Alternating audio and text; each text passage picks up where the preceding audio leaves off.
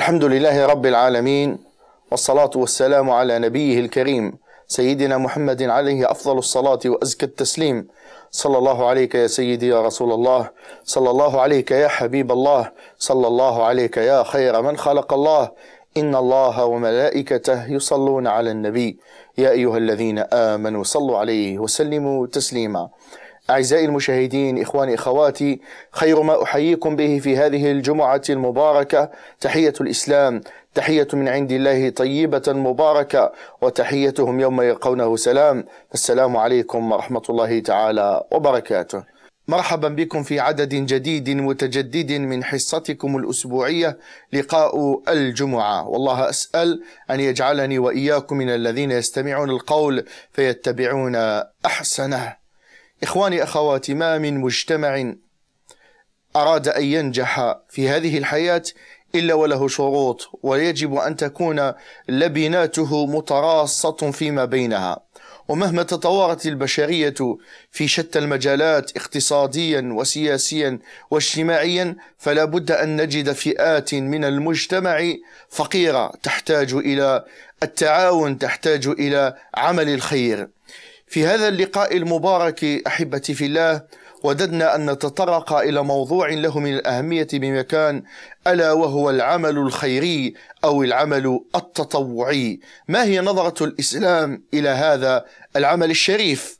لماذا الناس يحتاجون لبعضهم البعض في هذه الحياة وما هي ثمار العمل الخيري على مستوى الفرد وعلى مستوى المجتمع.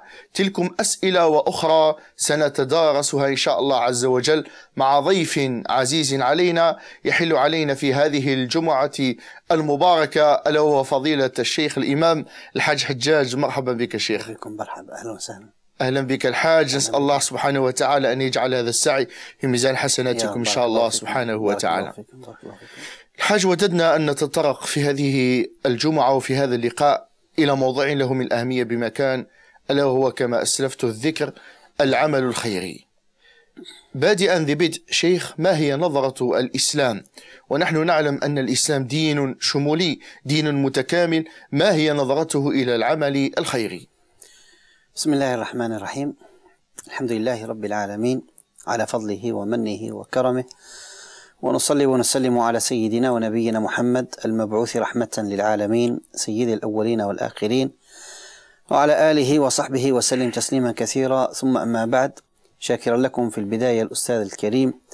على هذا اللقاء الطيب لقاء الجمعة. نسأل الله عز وجل أن يجمعنا دائما على محبته وطاعته. ثم من خلالكم لمشاهدي قناة البلاد أحييهم جميعا بتحية طيبة مباركة في هذا اليوم المبارك خير يوم طلعت فيه الشمس.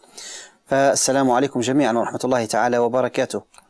موضوع مهم جدا أستاذنا الكريم تطرحونه للنقاش والإثراء وهو موضوع الساعة في الحقيقة ونحن نعيش فصل الشتاء وما فيه من معاناة لشريحة واسعة من المجتمع.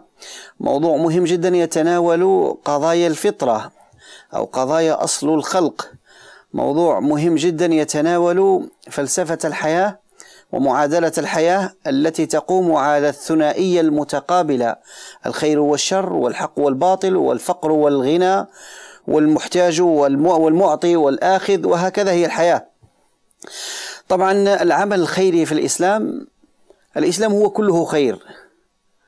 الإسلام مبني أساسا على فعل الخير. الخير فيما تعلق بين العبد الله عز وجل في طاعته وعبادته أمر بالخير. بل إن الله تعالى وصف أمة محمد صلى الله عليه وسلم أنها خير أمة. والإسلام برمته صلاة وصياما وزكاة وحجا خلاصته فعل الخير. نداء الله عز وجل وخطاب الله عز وجل لنا لجميع المؤمنين لأتباع هذا الدين العظيم جميعا. يا أيها الذين آمنوا يا النداء. يا أيها الذين آمنوا اركعوا واسجدوا واعبدوا ربكم. ثم قال واو العطف. يا أيها الناس اعبدوا رب يا أيها الناس اركعوا واسجدوا واعبدوا ربكم والعطف الرابع. وافعلوا الخير على إطلاقه. وافعلوا الخير على واش العلة الغاية. لام التمني لعلكم تفلحون.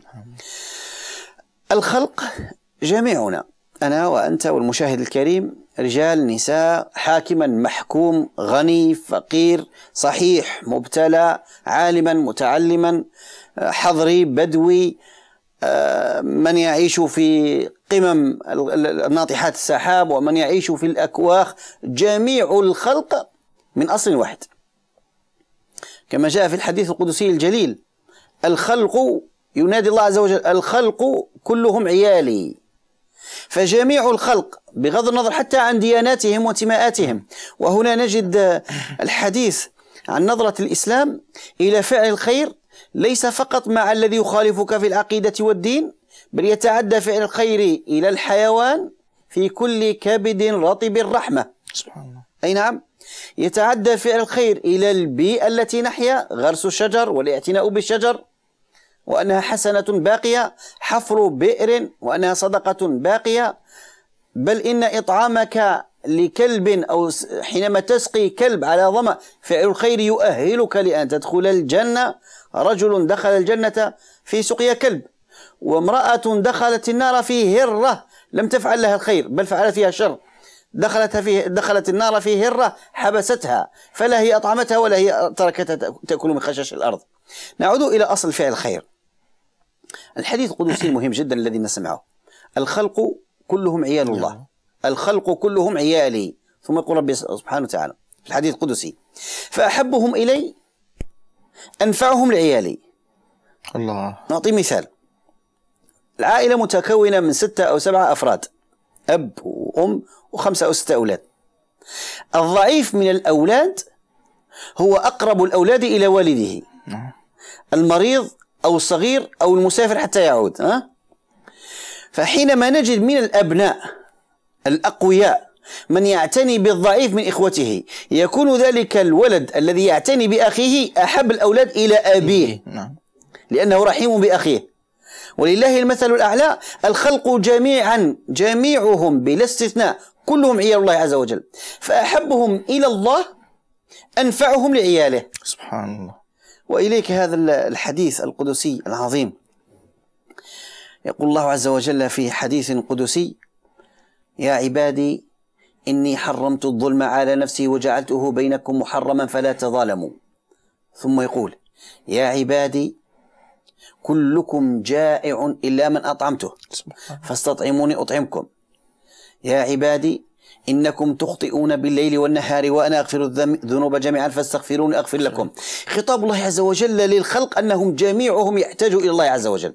أنهم جميعهم وإن علا شأنه وكثر ماله يحتاج إلى الله عز وجل. لذلك جاء هذا النداء وهذا الخطاب الرباني لعباده كي يلتفوا كي يلتئموا كي يتعاونوا. وهذه سنة الله عز وجل. الناس خدم لبعضهم وإن لم يشعروا. ونحن صغار كنا نقرأ ونحفظ القرآن الكريم في سورة الزخرف ورفع بعضكم فوق بعض درجات ليتخذ بعضكم بعضا سخريا السخرية حينما نقولها لعامة الناس حينما نقولها مفصولة عن سابقها ولاحقها تعني استهزاء أو تمسخر به تمسخير ورفع بعضكم فوق بعض درجات ليتخذ لم التعليل على وجه درجات. على وجه غني وفقير. على وجه تطبيب ولا مريض على وجه معلم ولا متعلم على وجه حاكم ولا محكوم. أو بالعكس. قال ورفع بعضكم فوق بعض درجات لي. على وجه العلة. يا أيها الناس إنا خلقناكم من ذكر وأنثى وجعلناكم شعوبا وقبائل لي. على وجه. لتعارفوا. ورفع بعضكم فوق بعض درجات ليتخذ ليتخذ هنا سبحان الله حتى تعبير القرآن الكريم. وكانوا مجبر بالسيف عليك تخدمني ونخدمك. ليتخذ تأكيد. مش معناتها طواعية لا مجبر أنت أنت مجبر. شئت أم أبيت. والناس خدم لبعضهم إيه؟ وإن لم يشعروا. حتى لما تجيب الخبر تلقى روحك تخدمني ونخدمك شئت أم أبيت. بإرادتك أو بغير إرادتك. قال الله عز وجل ليتخذ بعضكم بعضا سخريا فسخر الله القوي تسخير. نعمة التسخير وسنة التسخير. هي سنة. نعم. حتى في الحيوانات سبحان الله. فهذا هو الأصل في ديننا. فعل الخير والتعاون على الخير. طبعا فعل الخير والتعاون على الخير كما أنه عبادة يؤجر صاحبها ويثاب صاحبها كما في الحديث العظيم حديث رسول الله صلى الله عليه وسلم. من نفس عن مؤمن كربة من كرب الدنيا. كرب الدنيا كثيرة. آه، في الشتاء يحتاج أحدهم إلى من يقيه القر البرد يحتاج إلى من يطعمه يحتاج إلى من يحمله في سيارته. يحتاج إلى من يكون إلى من يسخر له. والناس حتى في بعض مناطق الوطن يقول لك ربي سخر. بما أن الله عز وجل يفتح عليك ربي سخر إن شاء الله. من من التسخير من نفس عن مؤمن كربة من كرب الدنيا. كرب الدنيا في آخر مطاف هي كربة من كرب الدنيا. تزول كما نزول. نعم. وتنتهي كما ننتهي. ولكن كرب يوم القيامة هي التي وصفها الله عز وجل. يا أيها الناس إن إن زلزلة الساعة شيء عظيم. يوم تذهل كل مرضعة عما أرضعت وترى الناس سكارى وما هم سكارى وما هم بسكارى ولكن عذاب الله شديد. ووصف الله عز وجل فمن زحزح عن النار وأدخل الجنة فقد فاز الفوز الحقيقي والعذاب الحقيقي والعياذ بالله. فمن نفس عن مؤمن هذا هو المطلوب من من المجتمع المسلم. ونحن نتكلم فيه عن فعل الخير. المؤمن حينما تخاطبه بلغة الثواب والأجر ينقاد.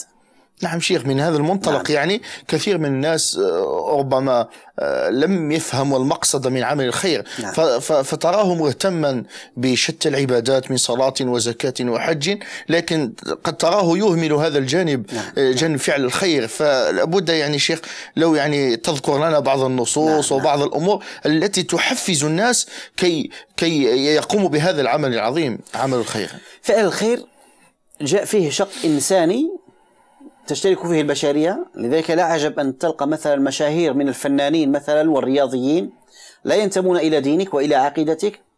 تجدهم يؤسسون لجمعيات خيرية تطوعية أعمال خيرية بناء مستشفيات الاهتمام بالأطفال بالمرضى المرض الأطفال المرضى مثلا السرطان وغيرهم. يعني هذا شق إنساني هذا. أي شق إنساني. هذا تشترك فيه جميع البشرية. نعم. لذلك جاء خطاب الله عز وجل الخلق كلهم عيالي. نعم. وهذا حينما نتكلم عن الجانب الإنساني هم الأولى به في الأصل المؤمنون. نعم. لماذا المؤمنون؟ لأن الشق الثاني الدافع إلى فعل الخير ثواب وأجر وحسنة. وهذا نخاطب فيه المؤمن الذي يؤمن أن هناك جنة وهناك نار أن هناك حياة برزخ أن هناك الجزاء من جنس العمل. هل جزاء الإحسان إلا الإحسان؟ من نفس الحديث الذي ذكرنا من نفس عن مؤمن كربة من كرب الدنيا إيه؟ نفس الله عنه كربة من كرب يوم القيامة. من يسر على معسر يسر الله عليه في الدنيا والآخرة. حاجتنا جميع البشر محتاجون. مهما ملكت من الجاه والمال والسلطان لأنه كما قال عبد الملك بن مروان لما حضرته الوفاة وكان خليفة. وقد امتدت دولته ورقعة دولته إلى مشارق الأرض ومغاربها وأصبح له من الجيش والخدم والحشم والمال. لما حضرته الوفاة وضع خده على الأرض ودخل عليه أحدهم يعوده فوجده يقول يا من لا يزول ملكه ارحم من زال ملكه. الملك سيزول والمال سيزول. قارون الذي قال إنما أوتيته على علم بين عشية وضحاها أصبح ظاهرها في باطنها كأن لم يغن بالأمس. سنة الحياة فالمحافظة على النعمة التي أعطاك الله عز وجل عليها وجب عليك فيها زكاة. آه الله عز وجل يقول في القرآن الكريم بسم الله الرحمن الرحيم. وأنفقوا من مال الله الذي آتاكم. آه ويبارك الله عز وجل أيضا في المال. الزكاة الأصل فيها أن الله عز وجل حينما يزكي حينما يصدق أنت تحفظ بذلك صحتك. وداووا مرضاكم بالصدقة أنت تحفظ بذلك حياتك. صنائع المعروف اسمع حديث النبي صلى الله عليه وسلم وهذا حديث مهم جدا في فعل الخير. حديث أنصح الإخوة جميعا أن يكون عنوان في حياتهم آه. شعار في حياتهم وهو مجرب جربه الكثيرون.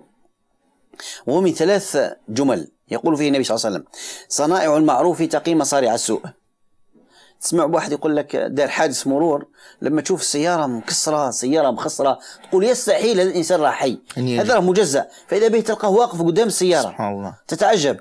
هنا ترجع الحديث. صنائع المعروف تقي مصارع السوء. مصرع اللي فيه سوء مصرع اللي فيه مقتله اللي فيه نهايته. يخرج منها. رجل يتعرض لمؤامرة دنيئة. تخاض ضده المؤامرات والدسائس والمكر. ثم بعد ذلك يخرج كما كما قيل من منها كشعرة من العجين. وسبحان الله تعرض لكل هذه المؤامرات وأظهر الله براءته وخرج منتصرا في آخر المطاف. أي نعم لما صنائع المعروف تقي مصارع السوء. المعروف يسلك صنائع المعروف تقي مصارع السوء. وصدقة السر تطفئ غضب الرب. وصلة الرحم تطيل في العمر. فسنة الحياة اقتضت أنه كل ما تدفع كل ما الله عز وجل يحفظها لك. وفي سورة الكهف ونحن في الجمعة ويسن لنا قراءة سورة الكهف.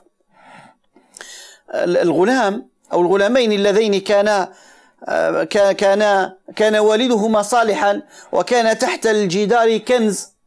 فلما أراد الجدار أن يسقط قال موسى وأمر أن, أن, أن, أن يبنى ويعاد بناء الجدار الخضر عليه السلام.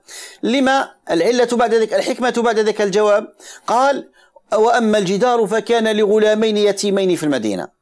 وكان أبوهما صالح. صالحا. الصلاح ليس فقط كما أشرت أستاذ وهي نقطة مهمة جدا. الصلاح ليس فقط كونك تحافظ على الصلوات الخمس. ليس فقط أنك تحج وتعتمر. ليس فقط أنك تصوم رمضان. أن تكون عبدا صالحا مع الله مع نفسك مع من يحيط معك في فعل الخير. بل إن في ثقافتنا الدينية في ثقافتنا الإسلامية وفي تراثنا الإسلامي لو تدير واحد فيه الخير إحنا واش نقولوا بالعامية؟ لو تزوج واحد ولا تعاون واحد باش يسدد دينه ولا دير دير عملية جراحية مثلا تداويه في سبيل الله. نقولوا إحنا عند الجزائريين نقول لك فلان حج فيه. والله حجيت فيه. سبحان الله. آه مشهوره عندكم صح؟ نعم. تقال بكثرة. والله حجيت فيه. حجيت فيه هذا عندها أصل في الشريعة. عبد الله بن مبارك وهو من التابعين كان في العراق ينوي الحج. وجه ذهب مع ثلة من أصحابه. وطبعا من السنة إنه الإنسان كي يكون يكون الإنسان مسافر مع جماعة يامر واحد.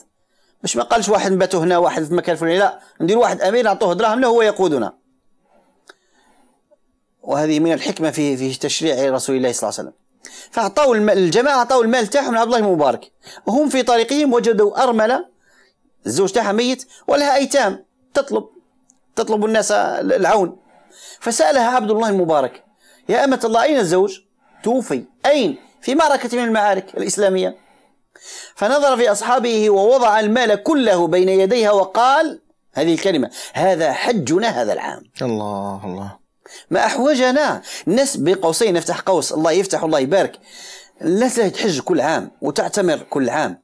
جميل جدا أنك تدير مثلا بين سنة وسنة تحج مرة هنا وتحج مرة لهي أنا أعلم يقينا أن الكثير ولله الحمد من أهل الخير يحجون هنا ويحجون هناك ويذهبون كل سنة. ولكن في ثقافتنا الإسلامية أن فعل الخير لأن الحج تطوع لحج حجة الإسلام بعدها كله تطوع. نعم. في حين أنك هناك فرائض مضيعها في الحي تاعك فرائض عظيمة جدا. لا يؤمن قال النبي صلى الله عليه وسلم لا يؤمن. أعادها ثلاثا. قيل ومن خاب وخسر يا رسول الله. قال من بات شبعان وجاره جائع. لبيك اللهم لبيك والجار تاعك تهدمت عليه الدار نتيجة الأمطار. الجار تاعك عنده زوجة عندها عملية جراحية ولا ولد معاق وما قدرش باش يعالجه وانت تروح تجيب حجة تطوعا هذا حجك هذا العام. هذه نظرة الإسلام. وهذا الذي تعني حينما تقول نظرة الشمولية في الإسلام. الشمولية في الإسلام حتى في الحيوان. نعم. الحيوان الذي الذي ليس له عقل الحيوان الذي نعم نظرة الإسلام حتى إلى الحيوان إلى البيئة إلى الطبيعة التي تحيا نظرة الإسلام كل في فعل الخير وفي صنائع المعروف التي تقي مصارع السوء. إن شاء الله. شيخ ما هي ثمار العمل الخيري عندما نزرع هذه الثقافة ثقافة عمل خير في المجتمع؟ ما هي الثمار المرجوة عند الفرد وعند المجتمع؟ نعم. هو في نصوص كثيرة. من جملتها قول الله عز وجل في القرآن الكريم يا أيها الذين آمنوا اركعوا واسجدوا واعبدوا ربكم وافعلوا الخير لعلكم تفلحون. أول ثمرة لعلها هي الفلاح هي النجاح. هي أنك تكون في الدنيا هذه بخير لأنه صنائع المعروف كما ذكرنا تقيم مصاريع تعيشها في الدنيا نتاعك. دعوة الوالدين ورضا الوالدين تعيشها في الدنيا نتاعك. فعل الخير أيضا تعيشه في الدنيا نتاعك. حتى نقولوا إحنا نقول لك فلان والله الخير سلكه. هذا المعروف راك داير معروف. وإحنا في عادتنا نخرجوا المعروف. على واش المعروف؟ الله عز وجل ينزل الغيث. سبحان الله. قدموا بين يدي نجواكم صدقة, صدقة. من جملتها الراحة وهذه حديث سمعته لأول مرة من شيخنا شيخ عبد الرحمن شيبان. الله يرحمه برحمة الله. الله حديث مرة استضفناه في المسجد لتدريس الجمعة فذكر حديث عظيم جدا. جاء رجل إلى رسول الله صلى الله عليه وسلم يسأله. يا رسول الله ما الإيمان؟ كيف نعرف روحي بالله أني مؤمن؟ حديث مهم جدا وهو قصير في مع- في مبناه لكن له من المعاني العظيمة. يقول يا رسول الله كيف أعرف أني مؤمن؟ فقال النبي صلى الله عليه وسلم إذا سرتك حسنتك وساءتك سيئتك فأنت مؤمن. الله. إذا كان جاك واحد وعاونته ومشيت معاه طرقت الأبواب تاع المسؤولين وتوسطت بالمناسبة هذه تعتبر زكاة. الزكاة ليس فقط نصاب تاع مال تخرجه. الزكاة عندك شوية معرفة باش تخدم واحد عندك أجر. عندك دخلته للمستشفى عندك أجر. دليته على طبيب أنجح عندك أجر. دليته على عمل خيري عندك أجر. وأنت في السيارة نتاعك وتطبطب عليك الجار تاعك. قال لك الزوجة تاعي مريضي مريضة هذه تعتبر زكاة السيارة. باش تحفظ السيارة باش تقيها الحوادث. هذه هذا الشيء صنائع المعروف تقي مصارع السوء فالحديث يقول فيه النبي صلى الله عليه وسلم إذا سرتك حسنتك إذا كان درت حسنة صمت وكملت الصيام تحس بروحك فرحان. تصدقت وشفت الصدقة تاعها. شفت ثمار الصدقة. شفت الطفل اللي عاونته وشريت له أدوات مدرسية في يوم من الأيام أصبح طبيب تكون فرحان. إذا سرتك حسنتك في المقابل وساءتك سيئتك درت شر. وما عاونتش ورديت السبيل. وأما اليتيم فلا تنهر ورديت السائل. وما درتش الخير. بعدها تحس بالندم وتصح الخطأ فأنت مؤمن. سبحان الله. القلب يتحرك. نعم. فصنائع المعروف كما قال النبي صلى الله عليه وسلم تقي مصارع السوء. هذه هي أول ثمرة اللي هي راحة نفسية اللي هي تجد الرضا عن نفسك. راضي على روحك ما بخلتش اثنين البركة في الولد. وكان أبوهما صالحا في سوره الكهف. الجزاء من جنس العمل كما تدين اعملوا فإنه كما تدين تدان. دير الخير تلقى الخير. الجزاء الإحسان إلا الإحسان. ثم سبحان الله في حكمة عظيمة جدا. تقع في بعض الأحيان مع لئام الخلق. وهذه سنة الحياة. الخير والشر وأهل الحق وأهل الباطل. والناس الملاح واللي مش ملاح. ولد فاميليا ومشي ولد فاميليا. فيقع أنك درت الخير في واحد ما يستاهلش. يقع. أو يرجعوا لك شر. يقع. هذه سنة الحياة. ولكن سبحان الله إذا كانت لك نية مع الله الذي أمرك بفعل الخير إذا كان الغرض النية الإخلاص كان لله. أنا درت الخير في فلان صحيح أعرفه قد يكون من أهلي وخيركم خيركم لأهله. قد يكون أخ شقيق قد تكون زوجة قد يكون عم خال. ورجع لك شر.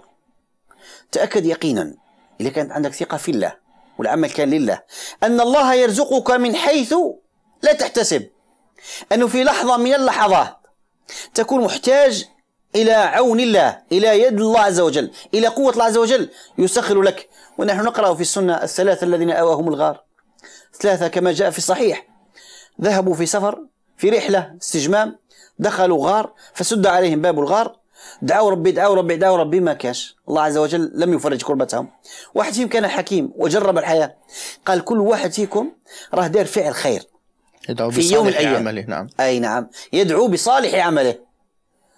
تفكر الخير اللي لك دايره يا ربي لك ان درت الخير في المكان الفلاني وكذا فرج عني ما أنا فيه. ويقينا لأن الخير هذا موجود في أمة محمد صلى الله عليه وسلم إلى قيام الساعة. فقط هو يتفاوت. كاين اللي ربي مسخره على طول وكاين اللي في لحظة من اللحظات يدير الخير حتى وإن كان القلب تاعو قاسي ففعل الخير. فرج كربتهم وخرجوا من الغار. الحمد لله على ذلك. شيخ جزاك الله خيرا على هذه الكلمات النيرات. لم نحس أصلا بالوقت الذي يعني داهمنا نسأل الله سبحانه وتعالى أن يجعل هذا الكلام في ميزان حسناتكم إن شاء الله عز وجل. هو في الحقيقة إذا كان ممكن نختم بواحد دعاء للنبي صلى الله عليه وسلم. إن شاء الله. تفضل شيخ. الناس صنفين.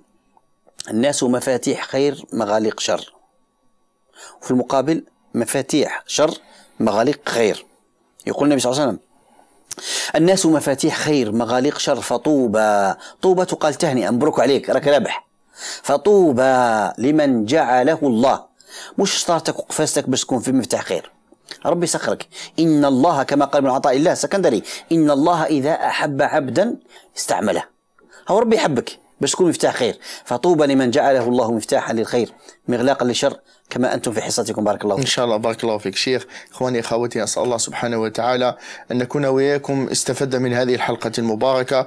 ألتقي وإياكم بمشيئة الله سبحانه وتعالى في الأسبوع القادم إن شاء الله سبحانه وتعالى. والسلام عليكم ورحمة الله تعالى وبركاته.